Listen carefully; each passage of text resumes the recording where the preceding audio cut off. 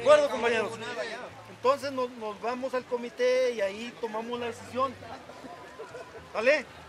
Víctor, ¿qué? ¿Estás de acuerdo? Vamos al comité, no hay problema. Entonces nos vamos al comité, compañeros. Compañeros, y ahí ya tomamos la decisión que sigue para mañana. Sale pues. Entonces vamos.